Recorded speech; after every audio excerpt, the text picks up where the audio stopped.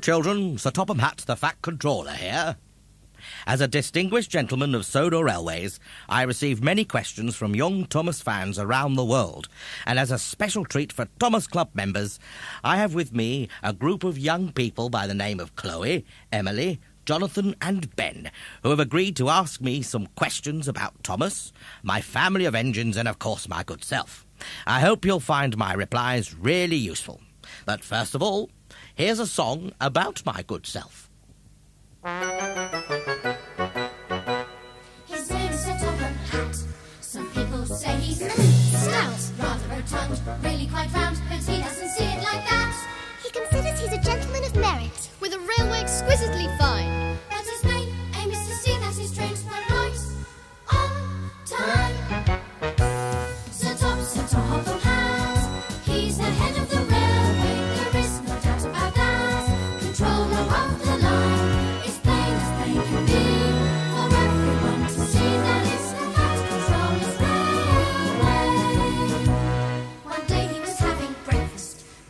Decided to call.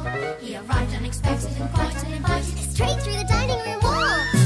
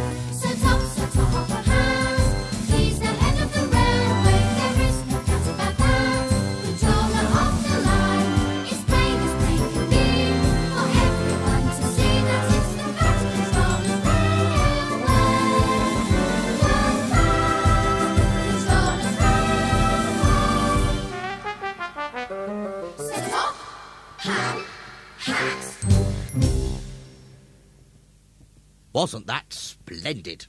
Now, with the signal green and the guard blowing his whistle, off we go. So, who's going to ask me the first question? Hello, I'm Jonathan.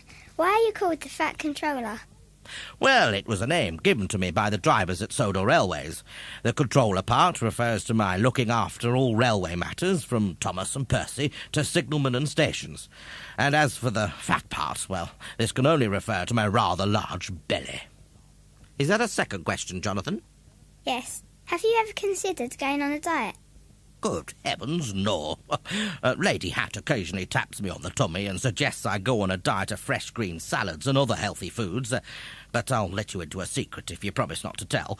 Whenever my good wife thinks I'm dieting, uh, I always visit Mrs. Kyndley to fill my tummy up with her scrumptious refreshments.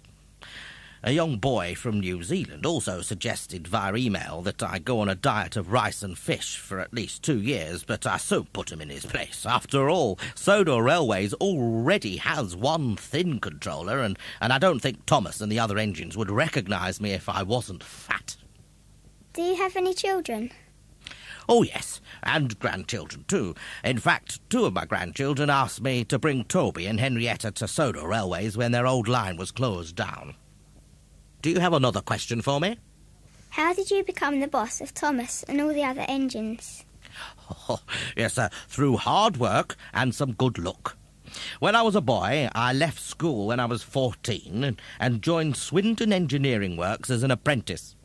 After a couple of years there, learning all there is to know about steam engines, I came back to the island of Sodor and worked as an engineer for one of the railway companies.